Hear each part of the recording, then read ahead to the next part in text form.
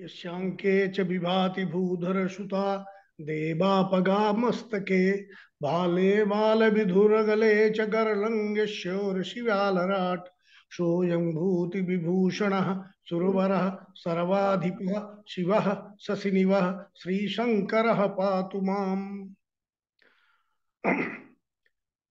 मलिक जी ने कहा कि विनय जी शिव जी को कैलाश पे ले गए थे, वो नीचे ले आते हैं। शिव जी ऐसे है ही है कि एक बार त्रेता जुग शंभु गए कुंभज ऋषि पाही। कथा यदि हो रही है तो वो कैलाश पर्वत छोड़ करके और वहाँ पे नीचे चले आते हैं। तो शिव जी ऐसा राम कथा को इतना मानते हैं तो उसमें जो मलिक जी ने कहा तो कोई आश्चर्य की बात नहीं। हम पुराण अब ये चौबे जी ने शिव जी के विविध रूपों के बारे में बता दिया कि उनके रूप में क्या विविधता है, लेकिन उनके क्रियाकलापों में विविधता है। पुराणों में यह बात बार बार पढ़ने को मिलती है कि भगवान शिव के भक्तों में राक्षस और दैत्य भी है। यहाँ तक कि रावण का चरित्र भी इसका पुष्ट करता है। राम का शत्रु रावण शिव भक्त था यह मानस और अनेक ग्रंथों में विविध इतिहासों में सिद्ध होता है। और यह एक बड़ी अटपटी बात लगती है, क्योंकि मानस में श्री राम जी कहते हैं अयोध्या वासियों को उपदेश देते समय कि और एक गुप्तमत समय कहूँ कर ज़ोर, शंकर भजन बिना नर भगत न पावई मोर। जो शिव जब जो शिव जी की भक्ति नहीं करता है तो मुझे नहीं पाता। और इसे नहीं, और आगे भी कह देते हैं शंकर प्रिय मम दोही शिव द्रोही मम दास, ते नर कर ही कलप भर घोर नरक महुबास शिवद्रोही मम दास कहावा, सो नर मोह सपने नहीं भावा। अर्थात कोई व्यक्ति यदि शंकर जी का भक्त है, जिसको सैब बोलते हैं, और मुझसे द्रोह रखता है, भगवान कहते हैं और जो दूसरे हमारे भक्त वैष्णव हैं, लेकिन शंकर जी से द्रोह रखते हैं, इन दोनों ही प्रकार के व्यक्तियों को एक कल्प भर तक घोर नरक में वास करना पड़ता है।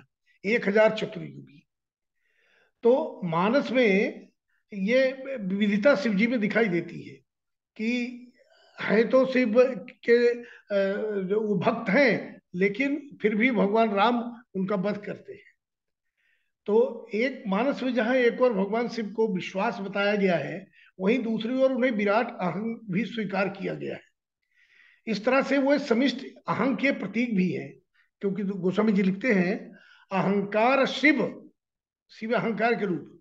अहंकार शिव, बुध यज मन चित्त महान, मनुज बास सचराचर रूप राम भगवान। विष्णु जी को इस प्रसंग में चित्त ब्रह्मा जी को बुद्धि, चंद्रमा को मन तथा शिव जी को अहंकार का प्रतीक बताया गया है। अब दैत्य और राक्षस अहंकारी है, इसीलिए उन्हें शिव का भक्त कहा गया है। तो तात्विक दृष्टि से चित्त एवं अहंग में कोई भेद नहीं है, पर व्यवहारिक दृष्टि में दोनों में भेद है। अहंग के द्वारा व्यक्ति में रजोगुण का सक्रिय, की सक्रियता उत्पन्न होती है, और चित्त के द्वारा शुद्ध विचार और सत्वात्मक विचार आते हैं। तो स्थूल दृष्टि एक दूसरे के विरोधी हैं लेकिन स्थितियाँ जो हैं उस वो दोनों विचार के लिए से एक दूसरे की पूरक है। अब शिव जी में ऐसी विविधता है कि विनय पत्रिका में लिखते हैं ब्रह्मा जी। एक बार मैंने हम लोग अभी स्तुतियों की चर्चा कर रहे थे थोड़े दिन पहले और ये क, ये आता है कि एक स्तुति के बहुत सारे रूप है। बिना पत्रिका में आता है कि एक स्तुति ऐसी है जिसे निंदा ब्याज स्तुति भी कहते हैं। और इसमें ब्रह्मा जी शंकर जी की स्तुति करते हैं और उनकी विविधता का वर्णन करते हैं। और उन्हें सीधे ना सुना करके उनकी प्रिया पार्वती जी को सुनाते हैं। और ब्रह्मा जी स्तुति के लिए कैलाश पर्वत जाते हैं और वहाँ कैलाश में पहुंचकर भगवान शंकर और पार्वती दोनों जी विराजमान थे। पर शंकर जी ने भगवान शंकर की ओर देखा नहीं। मैंने देखा तक भी नहीं। जानबूझ के और उन्होंने पार्वती जी को प्रणाम किया और उनसे कहने लगे, बाबरो राबरो नाह भवानी। हे भवानी, मैं आपको बताना चाहता हूँ कि आपके पति बाबरों हैं, पागल हैं। तो कैसे? ब्रह्मा जी कहने लगे, मैं प्रत्येक व्यक्ति के माथे पर उसका भाग्य लिख देता हूँ। उनमें से बहुत से ऐसे भी हैं जिनके मस्तक पर सुख का एक निशान भी नहीं होता।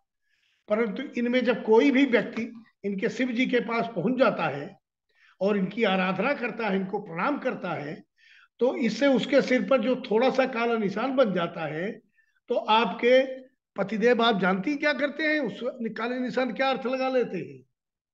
जैसे हम लोग जानते हैं कि लिखने में यदि कहीं किसी परीक्षक है, कामेश्वरी जी, कहीं यदि लिखने में कोई कोई त्रुटि हुई तो उसको अंडरलाइन कर देते, रेखांकित कर देते, निशान बना देते। तो उसके नीचे निशान बना दिया जाता है, जिससे बाद में उसे सुधारा जा सके। तो ब्रह्मा जी कहते हैं कि शंकर जी उस व्यक्ति के सिर पर लगे निशान को देखकर सोचते हैं कि इस व्यक्ति का भाग्य लिखने में ब्रह्मा जी ने कुछ न कुछ गलती रह गई होगी, इसलिए उन्होंने निशान लगा दिया है। अब मैं इसे सुधार देता हूँ। फिर वो मुझसे सीधे ना बात करके, मुझे सीधे ना बता करके उस व्यक्ति के अपने हाथों से उसका उस व्यक्ति के द्वारा आदेश भिजवा देते हैं। और जिन लोगों के भाग्य में मैंने जीवन भर दैन्यता लिखी थी, दरिद्रता लिखी थी, उनके लिए स्वर्ग और इंद्रलोक बनाने का आदेश प्राप्त होता है। अब आप ही बताइए कि ये पागल पर नहीं है तो क्या है?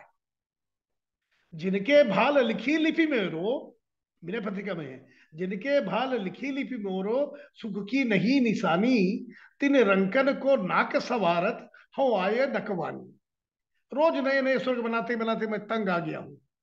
यह कार्य मुझसे नहीं होगा। अब आप मुझे ब्रह्मा के पद से मुक्त कर दें तो बड़ी कृपा होगी। पार्वती जी ने कहा, ब्रह्मा जी के पद से छुट्टी पाकर आप क्या करेंगे?